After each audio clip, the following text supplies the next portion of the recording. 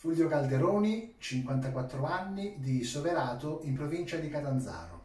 Profilo destro, profilo sinistro, agenzia La Cantera Management, agente di riferimento Laura Tosti.